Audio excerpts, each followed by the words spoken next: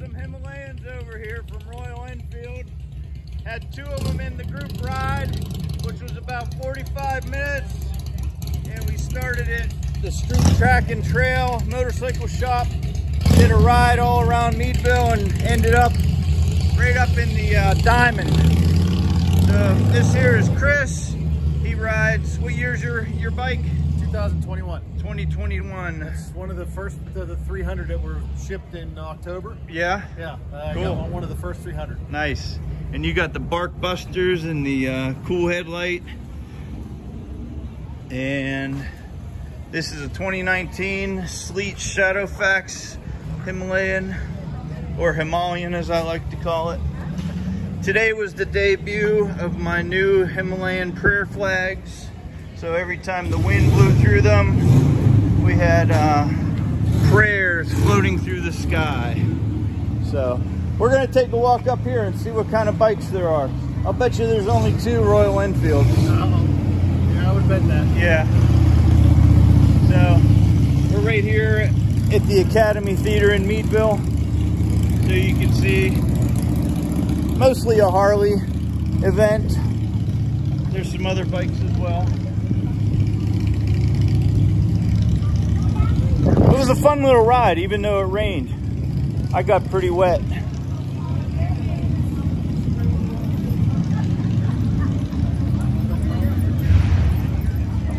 Everybody's showing up for the event. There's a nice Indian Scout. Got a trike. Ah, here's a Ural. This is the only Ural I saw in the event.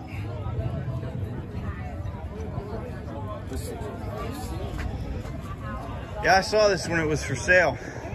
Maybe it's still for sale. Maybe those are the guys from Street Track and Trail. Yeah.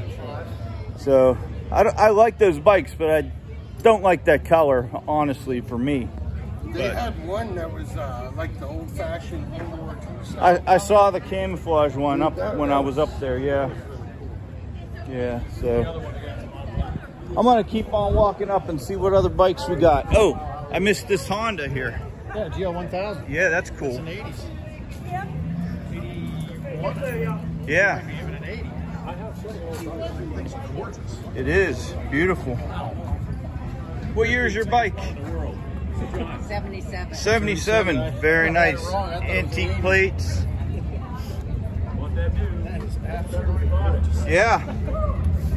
Very cool. Let's keep on walking. There's a whole event going on up here in the Diamond Square. So anyway, I, this group ride, I was running a little late because somebody told me it was starting at the square, even though I knew it was street track and trail, but some guy was really insistent like they changed it. So I went to the square first and then um, found out I was wrong.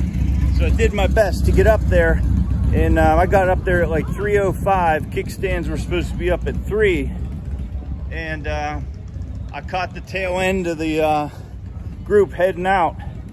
Now I did take some GoPro footage of the ride, but uh, it started raining and um, my battery died at the same time, so it wouldn't have been good footage with the rain anyway. But uh, one thing I didn't do beforehand was get gas, and as soon as the ride kicked off, I started uh, in Trip F, which if you don't know, if you're not familiar with that, that's kind of like the reserve. So anyway, there's a whole party atmosphere, carnival type thing going on up here. And I'm not gonna make a video of all that. So I'm getting ready to finish up this video here with a cool historic statue of Meadville. There's some more bikes over there. So I guess people are parking wherever they want. But uh, we're gonna finish off this video. Thank you for watching. Cheers to you. And I wish you peace, salam, shalom, mir, and shanti.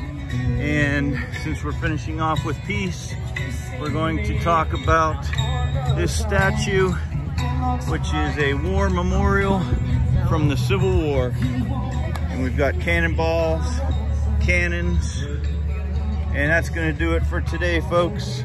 So until we see each other again, Fear.